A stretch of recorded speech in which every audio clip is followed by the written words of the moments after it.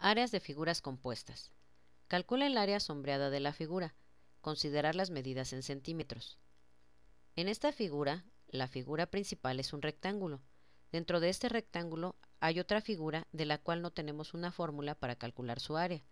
Como no sabemos esa fórmula, entonces vamos a dividirla en figuras conocidas. Si trazamos una línea imaginaria cortando la figura interna, nos quedan dos rectángulos, uno pequeño y uno un poco más grande.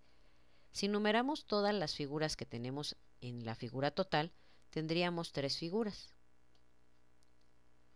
Vamos a calcular el área para cada una de ellas. Por ejemplo, para la figura 1, como es un rectángulo, sabemos que la fórmula es base por altura.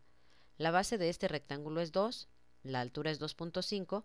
Si las multiplicamos esas cantidades nos queda como resultado 5 centímetros cuadrados, que sería el área de la figura 1.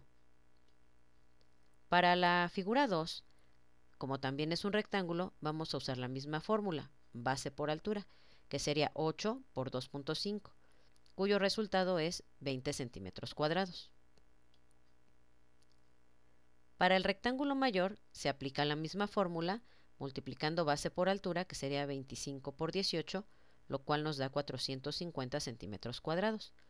Como únicamente queremos el área sombreada, vamos a restarle al área del rectángulo grande las áreas internas, que serían el área 1 y el área 2.